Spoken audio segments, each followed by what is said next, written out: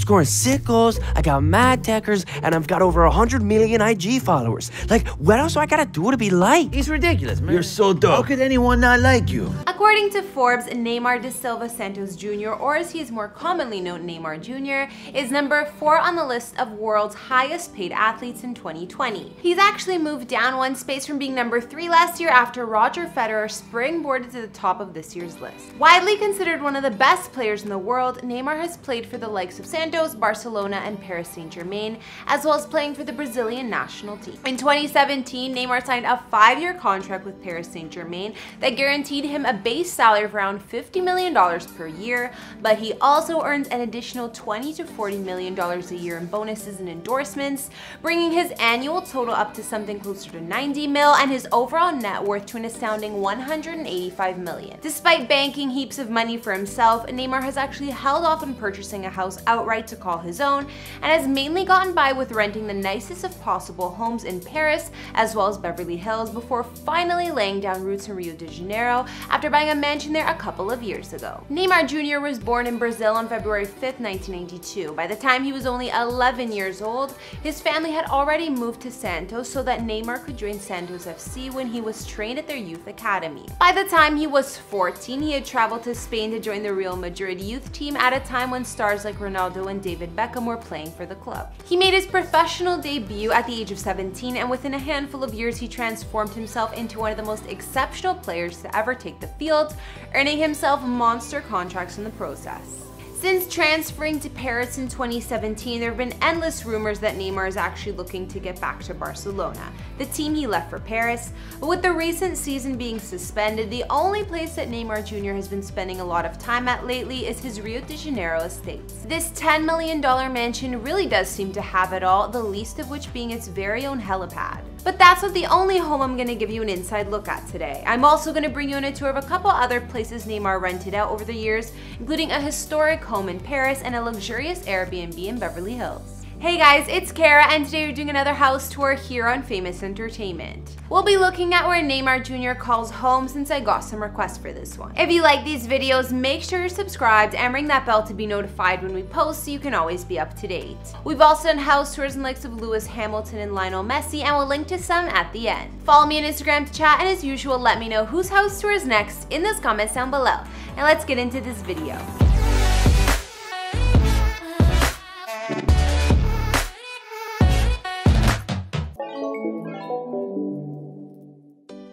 To kick things off, we're going to take a look at the five-story building that Neymar rented out for an astounding $17,000 per month after signing his massive contract with Paris back in 2017. This 10,800 square foot mansion is situated in the posh western part of Paris, 10 miles from the center of the city. This area has been home to a ton of celebrities over the years, including everyone's favorite French actor Gerard Depardieu, as well as footballer Ronaldinho. The property sits on top of a hilltop and was originally the home of an architect, having been built in the 1950s. It has over 5,000 square meters of garden space situated around the property too. But the inside is a pretty well guarded secret. Reportedly, it features a giant indoor swimming pool located in the basement, complete with sun loungers and views that spill out onto the garden. In addition, there's also a sauna, a Turkish bath, and a massive game room where people can hang out and have fun, something that Neymar and his friends are always looking to do. I wanted to throw you all a surprise party, you know, to show how much I don't hate playing with y'all in France. We can't party. We have a match tomorrow.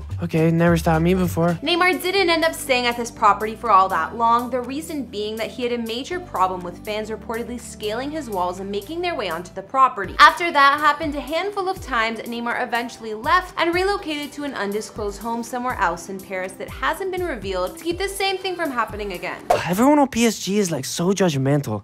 I need to go somewhere where I can clear my head. Yeah, we should go somewhere you can clear That's a your good head. idea. Yeah, like Ibiza. Next, we're gonna take a look at a vacation spot that Neymar has returned to time and time again. In fact, he's even been spotted hanging out with good friend Justin Bieber when he visited this spot. Every celebrity wants to spend time in Beverly Hills, and Neymar Jr. is no different, renting out this million dollar mansion for over 9k a night whenever he's in town. The residence is modeled after La Petite Trianon at Versailles in France. I promise you that the inside is just as beautiful as the outside when it comes to this equivalent to an American palace. The plush French chateau style villa boasts 7 bedrooms, 12 bathrooms, and can accommodate up to 14 guests at a time with its own cinema, gigantic swimming pool, jacuzzi, and tennis courts in its 22,000 square feet of space, situated on 5.2 acres of land. But that's just the tip of the iceberg when it comes to the type of amenities this place comes jam-packed with. Okay, fine. You guys want to see it? No problemo. It also features a library, wine cellar, gym, sauna, breakfast room, chef's kitchen, powder room, elevator, and a service staff consisting of a maid, butler, and chauffeur. Of course, when you're spending your time off at a place as nice as that, you just know that your own personal home has got to keep up, and thankfully for Neymar Jr., his mansion in Brazil does exactly that. Check this one out. Finally, we've come to Neymar Jr.'s actual home, a mansion that he bought in 2016 for $10 million, about 60 miles down the coast from Rio de Janeiro. The two and a half acre plot of land rests in a gated community known locally as Portobello and in the middle of the Mangaratiba resort, the same place where Sylvester Stallone shot some of the Expendables. The interior of the home boasts a decor of fresh style and modern furniture with a simple cream and brown color theme to complement the five bedrooms and bathrooms located inside. The exterior of the property features a helipad and even its very own jetty spilling out onto the ocean. That's where Neymar docks his private yacht, a 115-foot monster worth a reported $8 million, or should I say that's where he used to dock it, before it was taken away by Brazilian authorities over some questionable tax decisions in 2018. But hey, I'm willing to bet he enjoyed it while he had it. Recently, Neymar has been staying at this property since shelter at home orders came down all over the world, and he's managed to keep himself busy with plenty of self-isolation essentials like a home gym, tennis court, sauna, massage room, spa, and jacuzzi. And if that's not enough to keep him occupied, it also boasts an underground cellar with space for 3,000 bottles of wine, which I sure as hell know would do me for at least the next six months or however long all this craziness lasts for. And hey, if he's feeling bored, maybe he can extend his social circle by visiting his neighbors, footballer Emerson Sheik and Brazilian Emmy-nominated actress Adriana Esteves. Alright guys, I think that's gonna bring us to the end of our Neymar Jr. house tour. What did you guys think? Are you surprised despite all the money he makes, he only owns one home? Let me know what you guys think in the comments down below, as well as whose house we should take a tour of next. Don't forget to follow me on Instagram, and I'll see you guys all in the next video. Bye!